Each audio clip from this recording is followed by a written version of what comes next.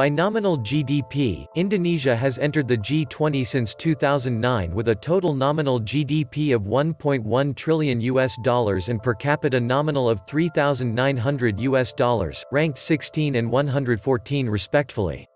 Purchasing power parity is even more significant.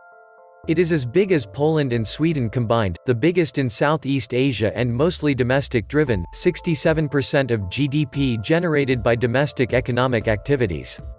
The closest ASEAN economy, the size of Indonesia, would be Thailand, and it is not even half the size. It is as big as Singapore, Malaysia, and the Philippines combined.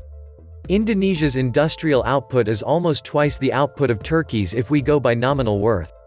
It is the absolute biggest palm oil and its derivatives producer, more than 55% of palm oil products in the world are manufactured in Indonesia. Singaporean palm oil products are usually a repackaged Indonesian and Malaysian oleo stuff. It has the fifth biggest population, thus a large population base as a potential market.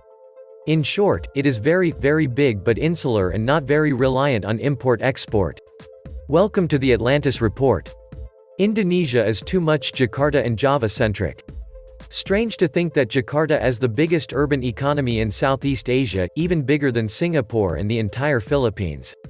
Most people think Singapore is the richest city in Southeast Asia, sorry to burst your bubble, but since 2014, Jakarta is the richest in Southeast Asia in terms of GDP nominal. Jakarta's GDP stood at more than 320 billion United States dollars, while Singapore's GDP stood at 303 billion United States dollars. And with Jakarta's GDP projected to surpass 400 billion United States dollars, Jakarta continues to dominates. It's this domination by Jakarta and Java that brought a detrimental effect on the rest of Indonesia. While Jakarta is heavily developing, Java is also not so far behind in development. But the rest of Indonesia, in Papua, in East Nusa Tenggara, and even in Jakarta itself, poverty is persistent. The problem is not that Indonesia is poor and cashless and has no income, Indonesia has a lot of revenue channels, but it is so concentrated and so unfairly distributed that only a handful of people get to reap the benefit of it. Until these structural problems get fixed or at least addressed, then Indonesia will continue to be mostly underdeveloped. So why is Indonesia still an underdeveloped country? Many people would say it is because of corruption, laziness, incompetence, lack of discipline, etc. Yes, it's all true. I'll have to admit to those things. But there are several other factors. Number 1. Geography. Indonesia is the largest archipelagic state on Earth, and the largest island nation, with 1,904,569 square kilometers of land areas, 3,544,744.9 square kilometers of sea areas. Due to this, Indonesia also possesses vast natural resources. But how about Japan? And the UK? They are island nations too and with less abundant natural resources. Well, what's the point of having a vast natural resource when the transportations are inadequate? Not anybody's fault, but transporting goods from Java to Papua is way more challenging than transporting goods from Honshu Island to Hokkaido. Between Honshu and Hokkaido, there is Seikan Tunnel that connects both islands, allowing for the economy to grow properly. Ah yes, because of the transportation difficulty via airplanes, which can only carry little, many consumer goods found in Papua are expensive, as much as 3 to 4 times more than the same type of goods found in Java. Also, transportation by sea would be lengthy. As a result, development in eastern Indonesia is often delayed compared to their western counterparts. As for the comparison with Singapore? Well, it's not fair. Why? Singapore is a small country, and although it has less natural resources, they are more easily managed. Compare that to Indonesia, which has 260 million or so people, 45 to 50 times more than Singapore. Actually, if you judge Indonesia by Jakarta itself, it may qualify as a developed nation, with 14,726 United States dollars, 99 per capita GRP. Compared to East Nusa Tenggara at 1,147 United States dollars and Papua at 5,777 United States dollars. Another analogy of vast natural resources but underdeveloped would be the Democratic Republic of Congo. Aside from being riddled with corruption and civil wars, Congo has a notoriously unforgiving terrain, with rugged hills, mountains, rivers, etc. thus making settlement and development progress halted. Number 2. Age. Indonesia is a relatively young nation, very young compared to the UK and Japan, or even the US itself that has lasted for centuries. So you guessed it, they are still developing and learning how to become and manage such a massive nation. Number 3. History. Historically, the development of Indonesia has been centralized within the Java region or occasionally Sumatra during New Order Orde Baru only after the Reformation period. The development started to be more progressive in other parts of Indonesia, such as Papua, Moluccas, Maluku, Borneo, Kalimantan, etc. And there are many other factors. Again, I won't talk about corruption, incompetence, or lack of discipline, because many people know it and admit it.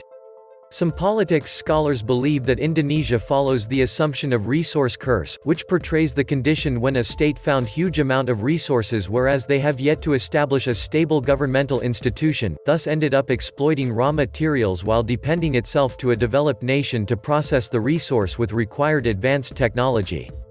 This thus creates a cycle of dependency on the international market on raw materials and tax revenue from investors.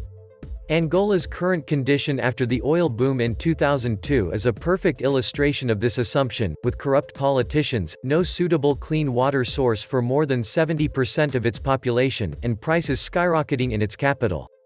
Norway, on the other hand, had established its governmental institutions and required policies long before the oil boom, thus making it one of the most successful oil exporting states.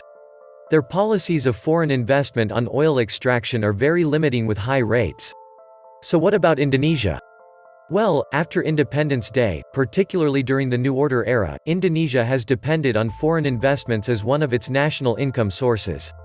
In the energy sector, the country has been conducting biddings on oil and gas explorations, which can only be conducted with sufficient technology. The National Petroleum Company, Pertamina, has been buying from extraction companies owned by foreign countries, such as Chevron, because they cannot do exploration on their own. Indonesia gets its income in this sector with tax revenue acquired from these companies, but it's not that simple. So the country has this fiscal policy called Production Sharing Contract PSC that basically says the government will shoulder all around production cost from extraction, construction, distribution to ease foreign investment bidding process because they don't have the technology and they need the resources.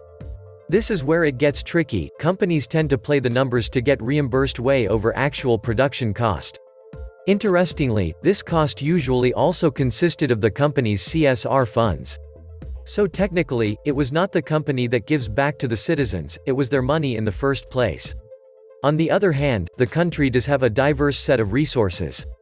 This means that the state economy doesn't necessarily depend on just one product on the market, and some products can be processed by the locals without advanced technology. That being said, the main drawback is that most of their export products are raw materials, therefore having a considerably low price in the international market, following the idea of the resource curse. We haven't even talked about state investment. It might be weird for a state with an abundance of resources to not have a wealth fund, but that's how Indonesia is. The government does not have any savings allocated for the time when their resources are depleted, this is funny as even Angola has one. The income from all industries is being counted as a whole national income APBN. Compare that with Norwegians which their government has more than 1 billion US dollars worth of out-of-country investments generated from their oil revenue wealth fund. No savings and no notable investment, Indonesia basically depend on foreign investments and cheap export products. The state simply doesn't look forward enough. I did hear that some local governments are planning on proposing to allocate savings from local business activities, though. Let's see the result a few years in the future. Many people believe corruption is a major problem in why Indonesia is underdeveloped. Russia, Ukraine, and Iran are some countries in which people consider them corrupt countries even more corrupt than Indonesia itself. But these countries have relatively high HDI and income compared to Indonesia. Why? Because both countries spend more on education and research. Corruption is like a hole in a bucket. It reduces the contents but doesn't change the capacity. You need to increase bucket's capacity in order to make it able to accommodate higher income than loss. In order to develop Indonesia, they should not only eradicate corruption but also increase the capacity of the economy itself with more innovation so that the economy depends not only on natural resources. Research and education are also very important, but it has never been a top priority of the government, and they don't even care about it. Indonesians are more likely to concerned about rises in the price of basic commodities than when the government doesn't improve the quality of education. The ratio of Indonesian education spending is only better than the Philippines, Turkey, Pakistan, and most of the poor countries in sub-Saharan Africa and Asia. Even countries with way higher nominal GDP like the US, Germany, and Brazil spend more their GDP on education than Indonesia. The government is likely too frugal in terms of education.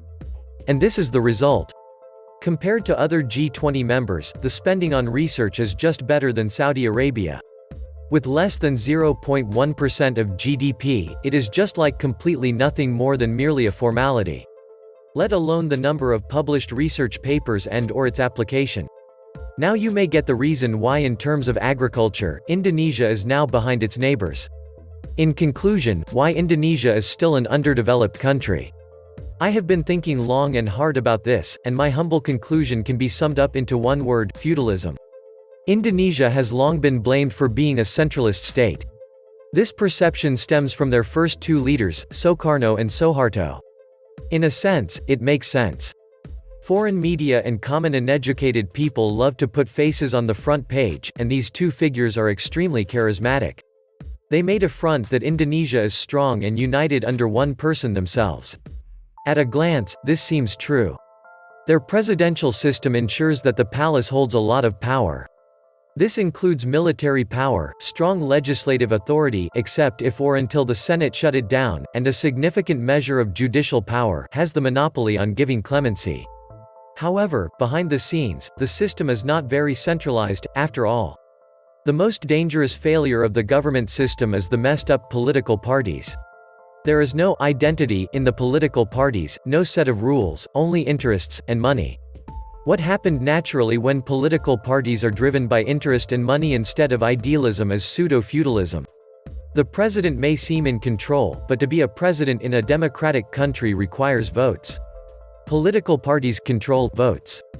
In order to become a president, a person must make trades and concessions to political parties, in turn strengthening the power of the political parties. The continuous cycle of favors eventually made a system in which each region and provinces are ruled by influential people who hands over votes to would-be presidents and, in turn, being rewarded by support from the central government. This support goes very far, indeed. Take Banten's ruling dynasty, for example. The central government turns a blind eye for years on the fact that one family controls a significant number of prestigious governmental positions and political power.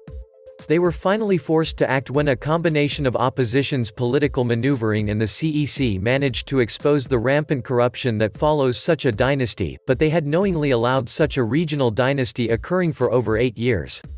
Other regions, while not entirely exposed, have it worse. There are governors who managed to install their families in the local courts, police, army, and legislative seats effectively creating a de facto small kingdoms within the republic. This is feudalism. In my opinion, this is the largest hindrance to the central government's effort to improve Indonesia. Why do you think that the House of Representatives is the most corrupt institution in the country? By itself, it may not be that much of a problem. But leave it alone long enough, and suddenly you have a corruption cancer in every facet of the society. Then education starts failing. The business starts getting more expensive. Tax problems are popping up right and left. Police brutality here. Strong mafia boss there. And by each problem, the influential person grew stronger and more secure. The spiral goes on and on. This was the Atlantis Report. Please like, share, and subscribe. Thank you.